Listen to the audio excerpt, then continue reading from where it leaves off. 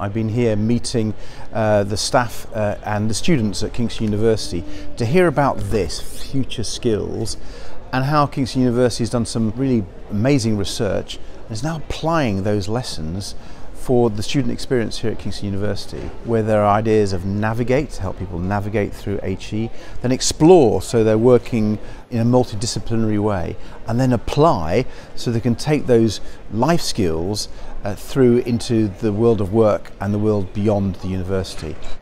As a music technology student, it's very important knowing your worth because majority of us, when we leave university, may become freelancers, we may work with a company.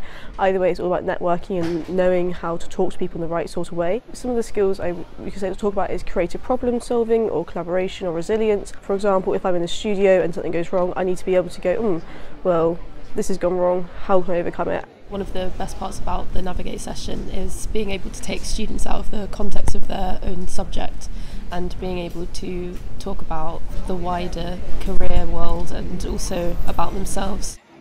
Having it be part of the curriculum that we're studying makes it a lot more valuable for us because it gives everyone the same the same set of skills to leave university with at the end.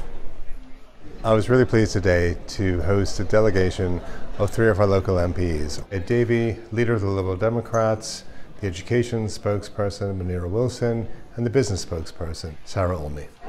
Our future skills reports have clearly shown what businesses say they need to meet the challenges of the future. And this uh, session included uh, students talking about their own experience and a description about how we work with industry and how we are delivering the future skills agenda for our students and for businesses.